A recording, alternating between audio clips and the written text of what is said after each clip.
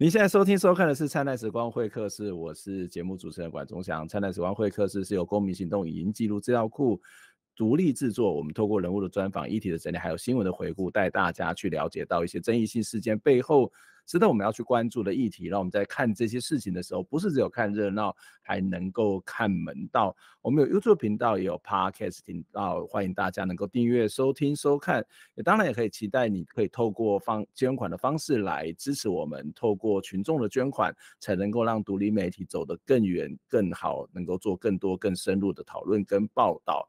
四月四号，我想很多人可能都在放连续假期哦。不过在我们在放连续假期的那个时候呢，在三重的这个大同路、大同南路有一个抗争帐篷哦，突然间被拆掉。或许你可能会觉得很奇怪，为什么在那个三重会有一个抗争帐篷呢？这个抗争帐篷里面住的这个人叫做许淑华。那他事实上在因为置办都根的这个政策底下，以及在当时的土地非常复杂的这种状态底下，他的这个帐篷被拆。可是他原本不是住在帐篷，他可能之前是住在这个车子里面，更之前他事实上是有房子的啊。所以他对于这样的一个他认为是一种所谓的公司协力的方式去拆了人家房子这件事情是很不满的，所以他就。在那边买锅造饭，自己住在帐篷里面。可是没想到，在四月四号的时候，就许淑华的说法，就是在他完全不知情的状况底下，他的这个帐篷被拆掉，而里面有很多的重要文件。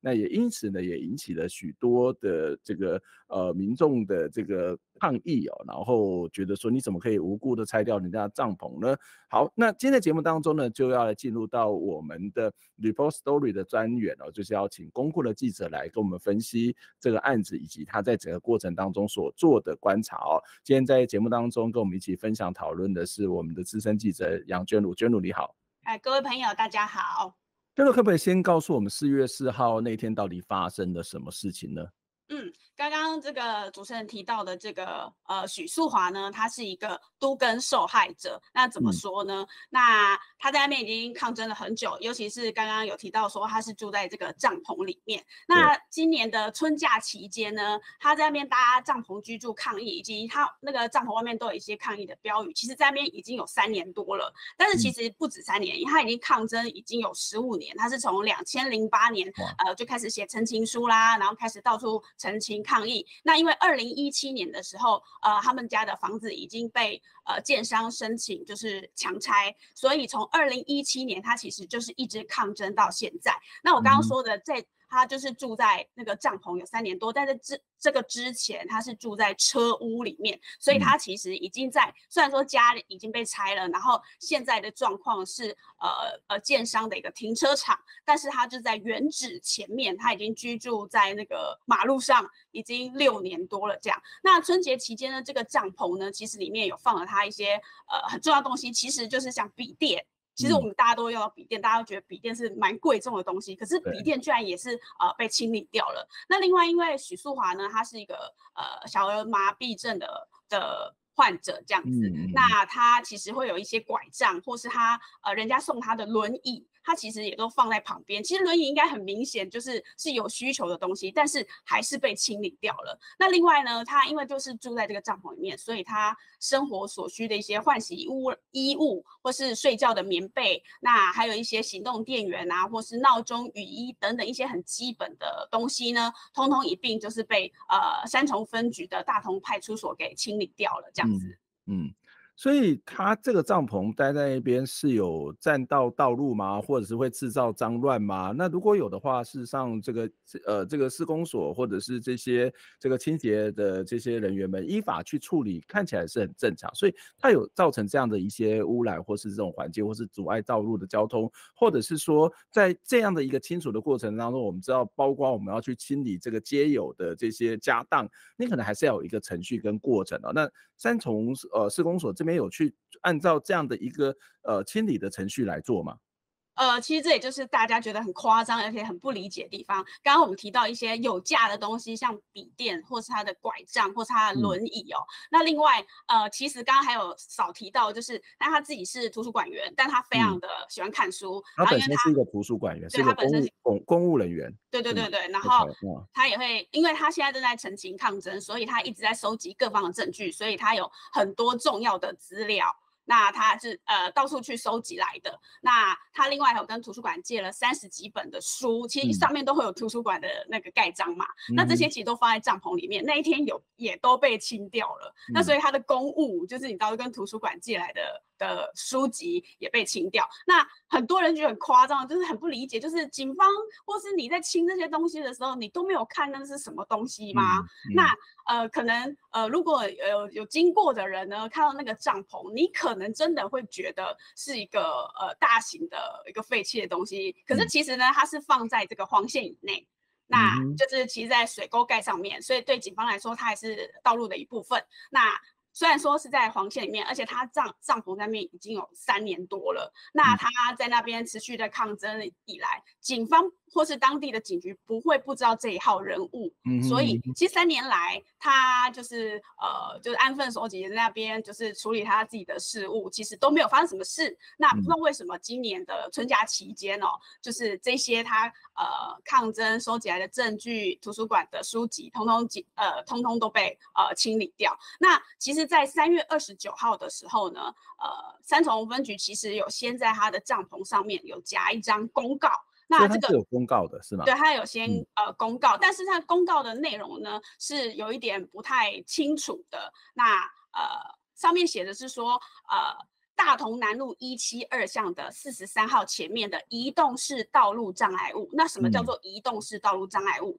呃，像是花盆啦，或是请勿停车的一个告示牌，或是桌子椅子等等，这些是移动式的道路障碍物哦。哦，就是请行为人赶快自行清除。如果呢你不清楚的话，呃，警方这边会依照道路交通管理处罚条例来取缔告发。但是其实呃。当时警方是没有对许淑华做到一个取缔跟告发的行为，所以呃公告了他要经过一个取缔告发的程序，那但是并没有经过这个程序就直接拆掉的意思。就是依法上呢，警方是可以先取缔跟告发，如果行为人在场，就是如果说许淑华在场的话，可以说哎这个呃许小姐你可能东西必须要清理哦，不然我就要。对你开单，那是其实是可以处就是几千元的这个罚款这样子。可是呢，法条里面也有说到，如果说行为人不在场的话，那这些东西又没有清除的话，警方是可以会同就是当地的清洁队来依照废物清理法进行清除，这样子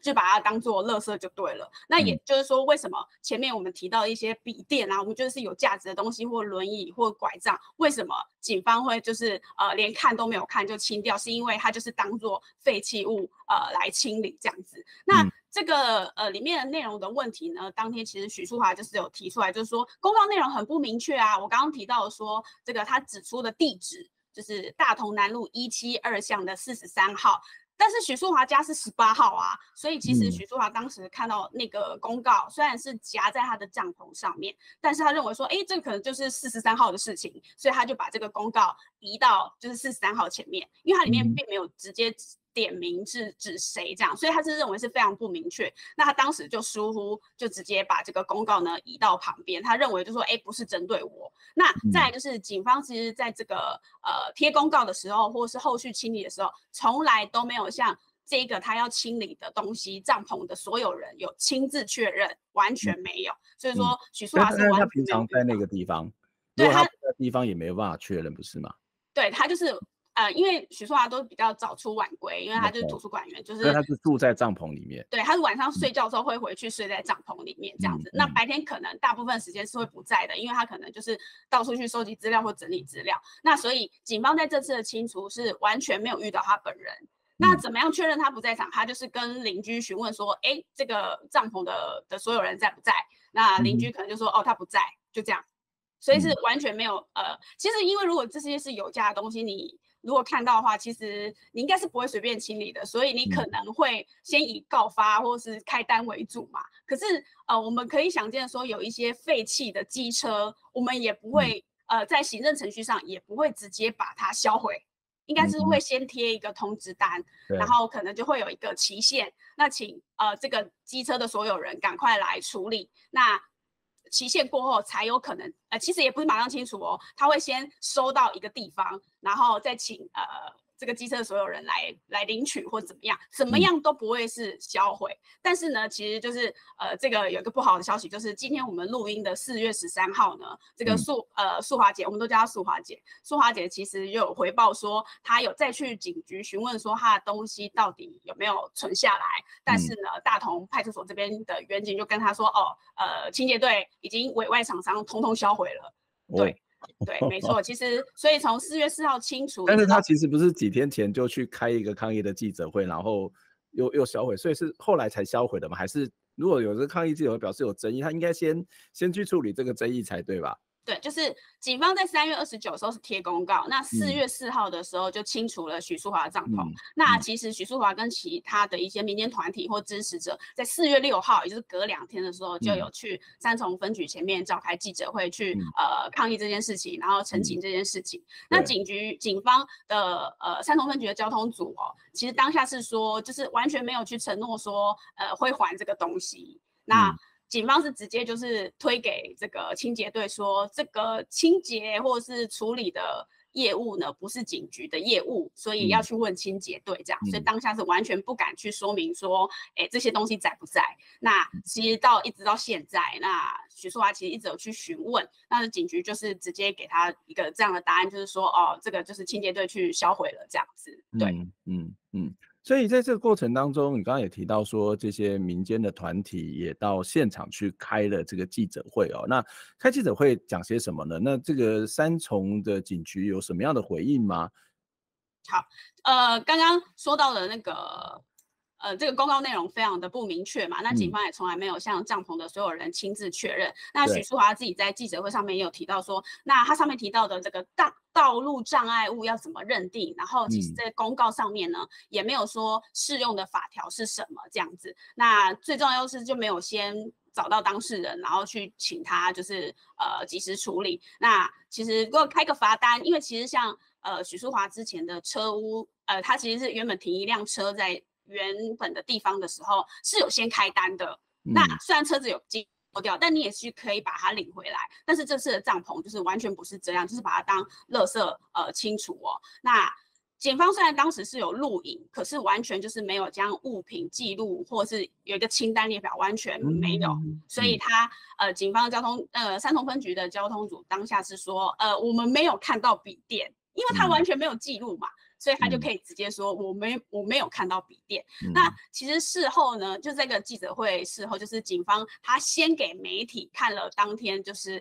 他们清除的那个录影画面。那我们几几个记者在现场看那个画面，我们是看到说，因为那个帐篷呢外面就是搭了一些。呃，防水布跟雨衣，那其实层层层叠叠的叠上去。那比如说清洁队啊、警方到场的时候，就说啊，这个这这很像垃圾。其实那为什么他叠那些防水布？是因为一个帐篷，他在那边睡觉，遇到下雨的时候就一定会漏水。所以它其实就是会一直靠防水布或者雨衣来加强那个抗震的帐篷，要不然不能睡嘛。那可是这个在清洁队或者在警方的眼里就是一个大型的垃圾，所以它就是一层一层的把那些呃加强的布给掀开之后呢，就把呃里面帐篷一包一包的物品，它其实都完全没有看，所以清洁队等于是一包药物品丢上了回收车上面。那现场还有椅子，也有轮椅这样子。其实轮椅其实蛮明显的，但是他还是把它当成垃圾，一个一个的往上丢，这样子的清理再走了。对，那其实影片看起来就是很明显，警方是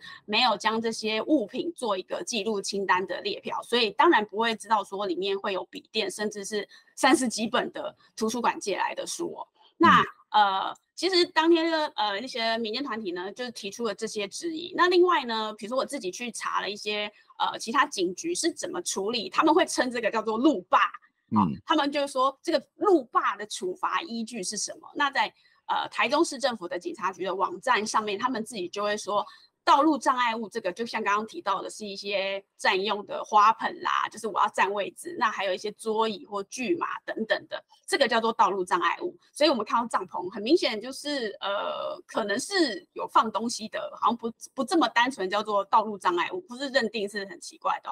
那怎么处理呢？就是行为的在场，当然还是就是先给他罚单，这个是台中市政府警察局自己写的。那不听劝导的人再来开单，或是怎么样去处理，这是也很明显的。可是不在场的呢，就是这这个警察局这边写说，如果是有价的物品，应该要先张贴公告，而且协调这个环保机关代管。嗯哼，这个是对，是这个台中市政府警察局这边是有这样子去处理的。可是，在新北市政府警察局这边好像就比较呃偏移形式，没有这些的，没有这些的规定是吗？对，就是其实，在这个法上，他们这样做有可能也是不违法，但其实我们觉得是是具有瑕疵的哦。嗯。所以民间团体当天会觉得说，呃，三重分局这样的处理是很有问题的。所以如果这个是如果去提提告的话，应该是有很大的空间，就是呃警方。是会有问题的这样子，但目前呢，就是他们因为许淑华自己呃还在就是呃收集各方证据，为他自己的都更案就是在抗争，所以再多一个诉讼案，其实应该是蛮疲于奔命的。又加上他的帐篷被清了，他其实真的完全没有在外面租房，他就是回去那个地方睡觉，所以他赶快要再去买新的帐篷。就是他当天其实被清掉，就赶快买了一个新的帐篷，然后就是。在这个原址前面，十八号前面就继续在，就是就很简易的打开，然后就又睡在里面。那其余的东西他真的就是不敢放在里面了，因为可能这个帐篷随时被清理嘛，所以他就把仅剩的一些简单的衣物或是一些呃他要使用的东西放在他的脚踏车上面。那我刚刚有说到他是一个。呃，小儿麻痹的患者，那他其实行动非常不方便，可是他出入都是骑脚踏车，但他现在脚踏车上面还要带着他所有的家当这样子，那晚上还还是照样的回去，就是这个他的家前面睡觉这样。那另外民间团体呢，当天去了有像台湾土地正义行动联盟，或是社子岛自救会，以及呃卢迪社大的成员，因为那个泸州三重那边就是卢迪社大是。就经常有在关注许淑华这个案子。那卢易斯达有一个呃，他们做一个社区报，那他们也经常有报道这个许淑华的故事，这样子，他们都有到场去声援许淑华。那呃，台湾土地正义行动联盟的荣誉理事长徐世荣老师，那他经常就是为这些土地破迁的案子就是声援嘛。他他那时候就有提到说，呃，其实许淑华他已经是被都跟这个案子就被建商已经迫害到在自家的门口搭帐篷抗议，可是帐篷设置是在黄线以内，他认为是没有影响交通的。那而且许淑华其实从二零一七年就一直在这个地方抗议，所以。当地的警方不会不知道这一号人物，所以他认为帐篷根本不就不是移动式的障碍物这样子。那徐世荣也提到说，其实。呃，徐淑华每天早上都会收拾好帐篷的东西，就是很完整的收拾好之后，他自己再骑脚踏车去上班。那这些东西很明显看起来就是人民的财产，可是警方就是连他仅有的这个财产呢，就当成垃圾清除。那其实让很多人是感到非常的气愤的。嗯，那最后呢，其实他们在记者会最后也有在这个台湾土地正义行动联盟以及其他声援者的陪同之下呢，呃。做出的行动是跟三重分局报案失窃，因为他的东西不见了。嗯，那呃，台湾呃土盟的理事长李卫慈，他是说他们另外有在请，比如说像立委或立委助理这边去跟。警方来了解说，哎，他的物品到底在不在，然后可不可以归还这样子？可是三重分局跟清洁队这边都还是互相推来推去，就说，哎，这个就是清洁队的业务，或是哎，你们去找分局这样子。好，所以呃，林卫慈是非常的就是批评这个新北市政府的相关公部门是非常的无视人民的财产这样子。那其实，呃，徐淑华常年在那边，一直就是呃带着和平抗争的决心待在那里而已。其实他也没有做多余的事情哦。可是他这样的最后，他的财产还是被当成垃圾。所以，呃，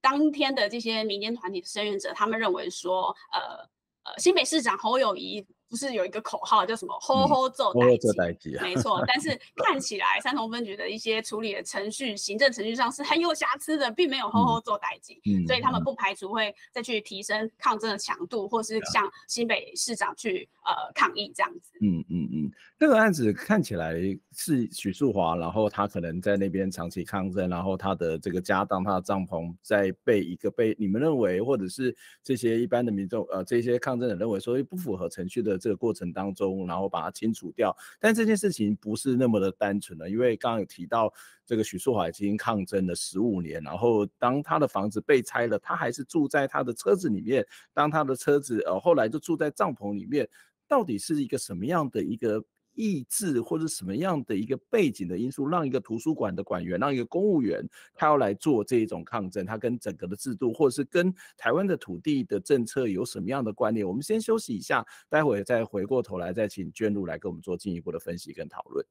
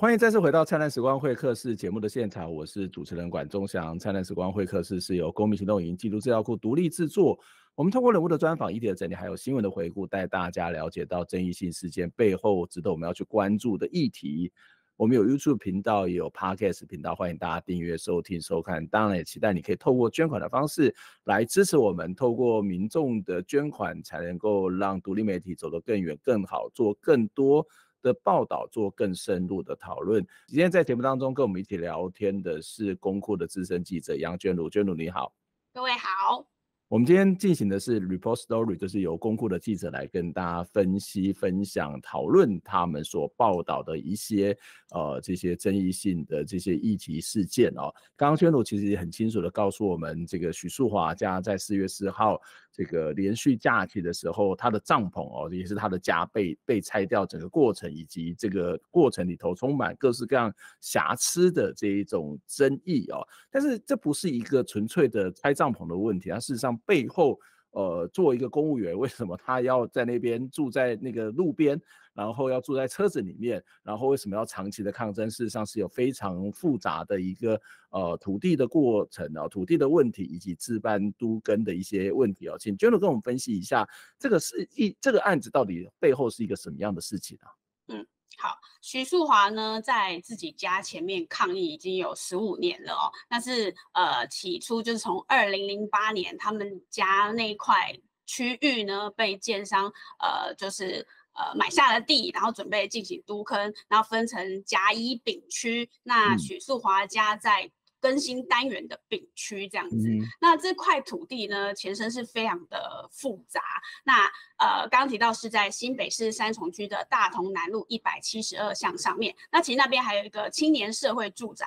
它旁边大约有。三千平的土地，以前呢是登记在呃神明会的土地下，那那边的神明会叫社人宫，那可能大家可能不太清楚这个复杂土地哦，因为其实你们可能再去搜寻，可能会发现有些土地登记在神明会下的，就神明的名义下，像呃登记在土地公。福德正神下这样子，或者是其实现在好像神明最大的地主是观世音菩萨等等的。其实以前就很多信徒呢，因为呃这个信仰是他们宗教信仰是他们的呃信仰中心，那他们很多信徒呢不会说呃留给私人，而是直接登记在神明底下。有些是因为当时的这个政权的转换要避税啊，也有部分是这样子，所以地地地呃这个登记在神明底下都有很多的这种原因。没错，就是很多信徒就是集资，然后去买这个地，然后可能盖庙。那在那个环境底下，就是很多就会就的那个神明的土地或是庙的周围，就是呃逐渐形成一个生活圈。那大家开始可能也有人会跟神明会买地来盖房子。那可是地的产权就不会是属于这个盖房子的地主所，呃，不会是属于房主所有这样子。那所以在这个大同南路的一七二巷上面呢，就是有社人工的神明会的土地这样子。那这个。土地呢，因为就登记在神明之下，所以是不得任意转卖的。那另外呢，还有一个叫做呃祭祀工业的的土地，是主要是以祭拜祖先为主。那祭拜祖先就是以就是呃你的祖先嘛，那祖先就有子孙子子孙孙，那所以这个土地的产权就会呃是由子孙来继承。那这边最大的问题就是呢，原本神明会的一个管理员。有一位呢，叫做林冬青，那他就是利用了呃伪造文书等等的方式去假申请，说这里不是神明会的土地，这里是把它登记成祭祀工业，也就是他的祖先这样子。那既然登记成他祖先的土地，他可能就有权利呃可以去转卖这个土地，等于土地所有权是变成在个人身上。那也就是说，呃，徐淑华家呢，在呃其实民国大概五十几年的时候，就是在呃许淑华的阿妈。嗯，在这里买下了，跟神明会买了这个土地一部分的土地，然后来这边新建，其实只有新建十二平的呃三层楼房，所以是很小的。那呃徐淑华的爸爸呢，在门口就有供奉这个王爷代天府，所以也是一个小型的信仰中心，所以那边就是大家邻居就来来往往都会来这边，就是呃交流。那呃是一个就是当时是大家会互相交流的地方，这样。那所以许家其实就是跟神明借地而住，所以没有实际的产权。但是这种呃早年约定俗成的一种方式，其实非常常见，不止不止在三重这地方，就现在有很多地方都是这样。嗯，可是这样的土地呢，其实到现在的一个开发主义至上的一个社会上来看，是很容易去传出纠纷的。像我刚刚说的，就是这边的土地就是被一位呃管理员林东七给登记为祭祀工业哦，那所以。登记了之后，这边土地上的居住的人，常常就会被判为是违建这样子。那其实呢，许淑华就是一直在追查这些事情。那另外，他就是查到说，既然林东庆要去登记这个祭祀工业，其实是要向。当地的市公所，以现在是区公所嘛，以前是三重市公所去登记这个祭祀工业。那为什么公部门可以容许让他登记成祭祀工业呢？因为其实这个林东青，因为后来有被发现这个是被违法登记之后，其实有人去提告，他其实是确定是伪造文书没有错，但是可是那时候他已经登记为祭祀工业了，那他就变成说他可以自由买卖这片土地的产权，所以他。当时呢，林东青不止就是呃，就拥有这块土地。他当时呢，跟另外一位前客姓洪的前客呢，就是他等于是欠了那个姓洪的前客，他欠了他两千五百万。那这是一个很大笔的呃金额，那可是因为呃林东青就是没有钱还这一笔钱，让这个红信的前客说，哎，那但是你名下有这个土地，所以我就利用这个，他们就是有这个两千五百万的借据，来让这个红信前客呢去向法院申请说，哎，他欠我钱没有还，所以我要让他的土地就是申请法拍。所以在这个前面呢，祭祀工业的这个三重公部门的这个问题还没有处理，那他其实也被判决伪造文书确定。没想到后续他马上紧接着就是有一个土地法拍的问题出现，那这个过程呢，其实一件又一件而来，其实就是对许淑华来说，形同是倒卖成功这样子。那结果。没想到这个其实呃借据两千五百万这个借据也被判决是伪造文书，可是，在法院这边很奇怪的就是说，虽然说这个借据是伪造的，但是你们两造的这个债权还是成立，所以你还是欠他钱，所以这个土地还是有呃可以法拍的依据，所以呢，这个土地居然就成功了呃去法拍了。那其实辗转有被呃两个建商给。呃，拍到了，所以先从第一个建商拍到了之后，这个建商马上又转手给现在的建商，叫做元富建设，那他们就成功了获得了这边的土地。那前面的问题没有解决，但是后面土地又被建商给拍到了。许淑华认为这个问题非常的严重啊，可是公部门却没有去处理哦，所以他一再的去呃澄清这件事情。那可是没有获得公部门的解决。好，三重区公所呢有针对这件事情来回应说，虽然根据法律判决，没错，林东青的确有伪造文书，但是呢，呃，三重区公所说我那时候有去问这个新北台北县府，那时候是现在是新北市政府嘛，以前是台北县，那有去问这个地方政府啊，但是地方政府说，哎，要请。呃，请申请人，也就是林东青这边哦，来向法院申请判决确定证明书，就是很奇怪，你要一个已经被判决确定的人再去来，再去来申请这个祭祀工业的撤销，很奇怪哦，因为那以前的一个祭祀工业的土地的一些相关的法令是很不完善的，所以当时其实就是呃就这样子放过了呃林东青。那另外呢，在这个是民国当嗯早年，民国八十二年，很很早之前。但是经过了十年，民国九十二年，其实有其他人在陆续想要去取消林东青的一个祭祀工业的一个资格。但是呢，呃，内政部这边却喊复说，刑事判决没有确定私权的效力。就刑事，它虽然是伪造文书确定，但是跟你这个私人产权是没有没有不相干的这样子，所以我们这个登记机关不得依刑事判决书来办理。哦，这个让呃人民是很难理解的，其实许淑华是非常不能理解哦。再再来呢，呃，祭祀工业条例其实一直直到民国九十七年才有就是发布成立这个祭祀工业条例，最后呢，三重区公所才得以有因为这个条例的其中第二十条的规定，这个规定是说，如果说这个呃登记为祭祀工业的管理员啊，或是有个叫派下员，就是他的底下的子孙呢，呃，有判决确定违法的事项的话，可以来撤销他的祭祀工业的登记。所以，终于在民国九十七年，哦，就是公所才据这个法条来撤销了这个林东青的一个呃管理员的资格。那可是那时候其实土地早就已经被元富建设给取得了，所以等于元富建设取得这个土地也不用去呃管说这个土地是属于神明会啊，不用去管说这个土地是属于祭祀工业啦等等的。那等于是元富建设完全的取得了这边的土地，这是许淑华呃。最不能接受的地方。嗯，不过这看起来是这些神明会跟许淑华之间的争议，那跟这个自办都跟有什么样的关系？那为什么这个呃这个许淑华会觉得这是一种公私合力来去让他的房子被拆，让他土地被卖掉呢？嗯，其实。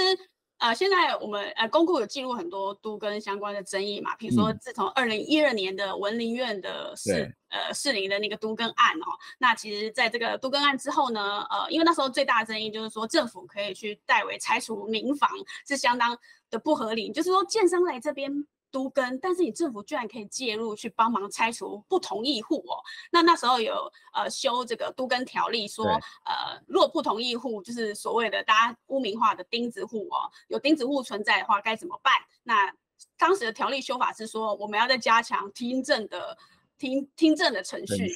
让不同意户再多一道程序，但其实还是没有去解决到真正的问题，因为我们都根条例，呃，其实很多都根的受害者会认为说，这个条例最大就是就是本身就是一个恶法，因为它的角度完全就是倾向说，呃呃。呃，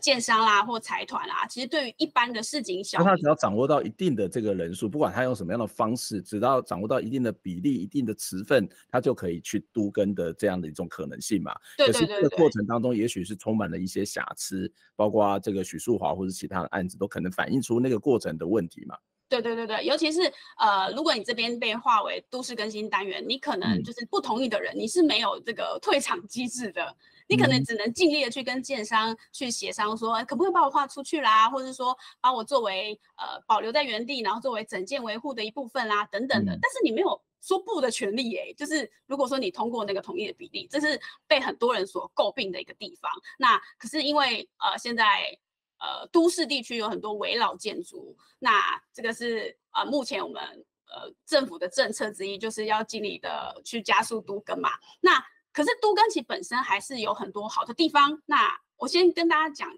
讲讲几个都跟的方式，其实就是民办都跟，或者是自办都跟，或是公办都跟这样子。那不管这个都跟的方式是怎么样，其实差别就在于说实施者跟那个呃实施者是谁，跟资金来源是什么。那我们刚刚提到的徐淑华这一区是自办都跟，那。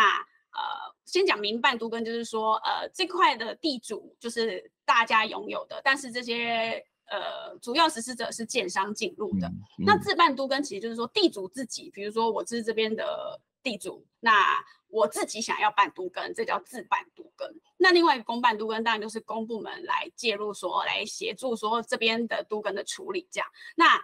刚刚提到徐华许树华这边的土地，就是元富建设呢，虽然他是建商，但是他已经取得这边大部分的土地，所以他其实就是最大的地主。他地主自己想要自己又是建商，自己要来办这个都跟，所以这个边就是只办都跟，这是程序上是呃没有太大的问题。那我们刚刚提到就是前面这个复杂的一个私。所谓的私权争议，因为元富建设会去推脱说，哎，前面那个神明会啊，还是什么祭祀工业啊，还有那个伪造文书啊，还有那个什么登记的那个那些事项呢，都跟他没有关系，他就是纯粹一个拍到土地的地主，所以他在这边自办都跟这样。可是呢，问题是，呃，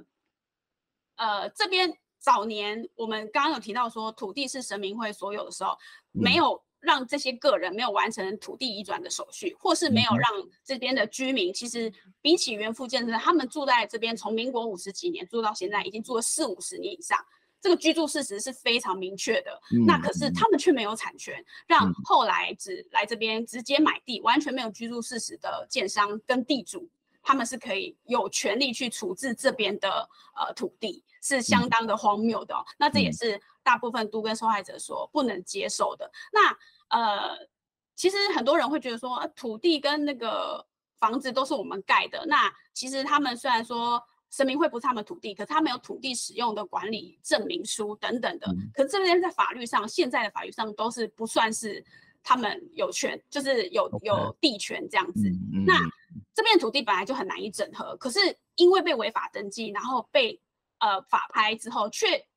早年很难以整合的土地，却因为这样的程序变成一个直接，呃，由一个建商给给拥有了。这种用诉讼诈欺的方式，不止在三重，在其他地方也有很多。那呃，其实呃，回到说神明会的土地，现在还是有很多土地不知道怎么处理嘛。所以现在政府的方向呢，就改说在用地级清理条例进来，来去放宽神明会或寺庙土地的一个申报清理，来加速。土地的清理哦，其实都可以看到政府的政策是以开发或是以呃土地赶快加速利用为主，可是却没有去想到说都市更新其实最需要的人就是比如说像许淑华家十二平，然后住了四五十年需要整件维修的这样的住户，他们其实没有办法再维持他们原本的生活，他们可能就是被迫去参与说呃之后要盖的都是十五层楼或是十二层楼或地下三层这种地下停车场这种高楼建筑。其实都跟之后都会变成这样的形式，那地价上涨了，那这些呃原本住在矮小楼房的居民，他们其实原本就已经没办法，就是因为没有钱了，所以没有办法去整建嘛，才希望有一个呃公办都跟等等的介入来去帮忙处理。可是因为土地呃给给呃沦落到这个建商的手上，然后让他们去有权去处理之后呢，反而他要赶走这些有居住四十四五十年的居民。那其实还有很多人去呃有呃还很多人去批评说，原富建设其实有利用这个呃补偿违战户，就是让他们安置违战户的这个名义去申请容积奖励，就是说我我如果有好好的安置这些住户的话，我自己呃建商这边我可以再多盖两层楼或三层楼，有这样的容积奖励。可是其实当年他是呃我刚刚提到二零一八年，他其实是对这些住户去提告，提他们拆屋还地。那虽然许淑华呃的诉讼是败诉的，也就是说当年为什么会被强拆，就是因为奸商就说，哎，你败诉了，那我请法院来这边执行，这边把地还给我。他一手呢去申请容积奖励，可是一手呢又向这些住户提告，其实是完全不符合都市更新的精神。那这个在呃新北市政府或者是内政部这边的都市更新的审议会是有发现到说，原附建设是有这样的问题的。那在经过审议之后呢，呃。有有请他们去做处理跟检讨，但呃原本他们要盖十五层楼，后来就是大概就是盖十二层楼这样子。但他的检讨是少盖了三层的意思。可有可能，但是总之呢，呃，在二零二一年的时候，原富建设其实已经通过了这个新北市政府的什么都跟审议小组的审议，也就是说，其实他们随时都可以动工了。那不清楚是因为疫情还是什么样的关系，总之一直到现在，他们其实应该就是随时可以动工，所以呃不许淑华之前车屋可能被检举被拖掉，那现在帐篷被清除，有可能是他们有要进行下一步的动作，或是准备要开始建设了，有可能是这样的状况，这样。可是从刚刚的这个讨论当中，如果从现有的法规，或是现有的制度，或是现有的现实，这个抗争事实上是非常非常辛苦的。嗯，那这个当然背后有很多这个呃，虽然这个精神很好，可是很多的程序，或者是有很多的争议，特别是这个土地的取得的过程，或者土地的转卖的过程，这事实上是非常非常复杂，还会涉及涉及到所谓的居住的事实等等的问题哦。那当我们在面对这样的一个争议的时候，我们政府大概就是依法行政啊，反正那个是你们私人之间。事情，那我管你那么多，我只要把我的这个按照我的法律怎么做，就就就就去做就好。这当然就会引起了一些争议跟一些不满哦。可是回到我刚刚讲到，从一个现实来看，好像法规就是这样子定，然后好像被认为是你们私人这些争议，然后你的这个房子也被拆了，然后你的这个帐篷也被清掉了，那为什么还要再抗争？这个抗争有什么进展？对他有什么样的帮助？会有什么样的结果吗？嗯。其实这也是我们呃公库，因为从二零一七年开始去记录呃许淑华家被强拆，那一直到后来他抗争这些年，那我们都是觉得非常的不可思议。但很多声援他的人也会觉得许淑华是一个真的非常有坚强意志的人。那他为什么会说就是一定要睡在家屋门口？就是因为他要砥砺自己的心智，他不能忘记他抗争的初衷。就是没错，他真的就是觉得说，就像什么勾践复国这样的一个呃。的心情是住在马路上，住在呃，其实那个过程，我觉得应该大部分是没有办法接受的。那其实像早年很多呃，因为他的诉讼已经走到尽头了嘛，那他家也被拆了。那目前原复建设的这个都跟审议也已经通过了，所以其实，在所有法律途径上或是行政程序上，他可能看起来是蛮，我们外人看起来应该是蛮绝望的。那已经到到尽头了这样子，那。感觉他做什么事情是比较是无力回天，那可是他现在还是在持续的收集证据，尤其是他最在意就是呃一开始的公部门呃去处理这些土地倒卖的事情是没有被呃处罚或是没有被揭发的，他认为这些事情还是要被记录下来，然后要让很多人知道说过往公部门是做了这样的事情，才让这块土地呃辗转的呃。呃，到了建商的手上，他一定要让很多人知道这件事情哦。那我们觉得是，我自己也是觉得一个很绝望的过程。可是，在他身上，他好像觉得还是有那么点希望或梦想。他要去向呃，他收集证据，他要把这些东西呃集结起来，那继续向监察院或是向国家人权委员会去提提报，去申请说，哎，有这样的事情，我们的。呃，号称民主的台湾政府这边有这样的一个事情，那呃，他现在就还在整理资料，他的抗争也是非常的艰困嘛。我刚刚提到说，呃，他就是一开始住车屋，那车屋其实有被一些人检举，那所以他就是被拖掉。那原本在车屋里面是可以放比较多东西的，但是因为被拖掉之后，他可能每次都要付一两千块的一个拖掉费或是罚款，他其实无力负荷，因为他没有钱。那另外呢，他当天被。呃，二零一七年家里被强拆的时候，呃，建商这边有向他去申请说，他要付这些执行费用。那建商这边呢，是把一些拉拉杂杂通通都加起来，另外还有像警察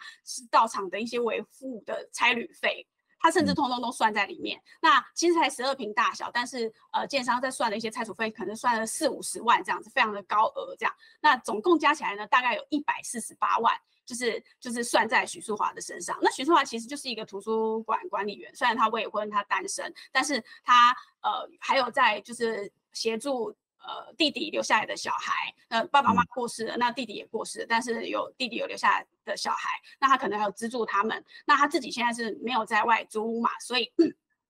他就是呃一边还债，然后一边就是进行抗争，其实就是大部分人想起来就是非常的不可思议。那为了省钱，好车屋会被拖，所以他就是改用帐篷。那帐篷在那边三年多还算是还好，但是结果没想到今年却遇到这样的事情。那呃他还是没有放弃，他还是我说当天他就买了一个简易帐篷，再继续回去睡哦。很多人会劝他说，就是说建商其实说呃有提供。呃，补偿金跟他异地安置等等的一些补偿方案哦，那徐淑华是坚决不接受，因为他认为这是一个前面的公司协力倒卖土地的真相呃没有被呃处理。那如果我就接受了这个补偿，或是我接受了建商的安置，那怎这些算是这些违法事项的遮羞布吗？他是完全不能接受的。那其实补偿金呃不只是他在其他的一个破迁的呃受害者身上来说，补偿金其实大概就是一两百万。那其实你很难再用这一笔钱。